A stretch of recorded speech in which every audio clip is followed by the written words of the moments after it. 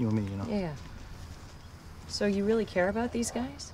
Erica, I care about everybody in this park. There's a lot of really good, hardworking, and decent, intelligent people that live here.